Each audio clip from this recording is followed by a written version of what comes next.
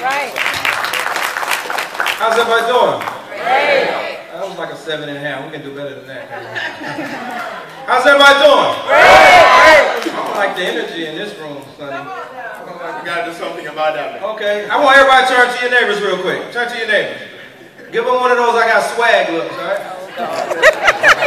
you don't know what swag is, but now Google it when you get home. all right? Say, neighbor, Neighbors, somebody got to be a millionaire. somebody got to be a millionaire. And it might as well be me. It might as well be. Now give your neighbor a hand. I'm Senior Vice President Dionte' Harvey. I've been in this business.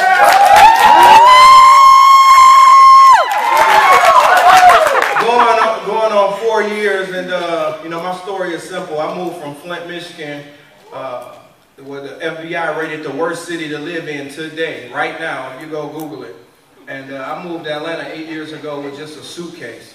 You know, I didn't have a debit card, I didn't have a bank bank card, I didn't have a car, I didn't have a cell phone, I didn't have a key to the place they were letting me live in.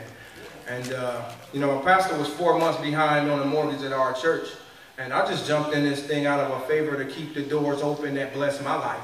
And you know, these are one of those things where they were saying it's a pyramid scheme, scam, this, and this is my third year anniversary of coming to my my first nationals, 2010 January. And here's the significance of it. I missed my first five national conventions. On my fourth one, I was getting promoted to uh, senior VP in San Antonio. And we come back. The only person I was able to drag to that convention in January 2010, I lied to him.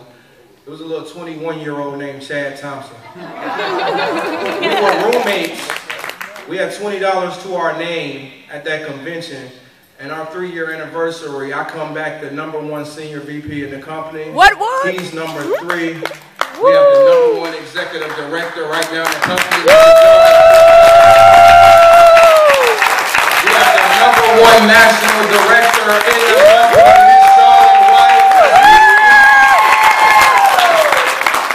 three years ago, I didn't know if I was gonna have enough money to make it home. So I'm gonna speak and do a pan, the panel from a position for the people who spent their last dime.